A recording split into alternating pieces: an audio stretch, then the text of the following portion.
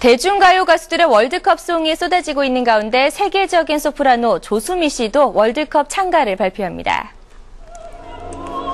2002년 한일 월드컵 당시 챔피언으로 한반도를 울렸던 조수미는 독일 월드컵을 앞두고 두 편의 월드컵 참가를 발표하는데요. 조수미는 얼마 전 이탈리아 로마의 포럼 스튜디오에서 녹음한 오 대한민국과 동방의 빛 두 곡을 오는 10일 MBC를 통해 전격 공개합니다.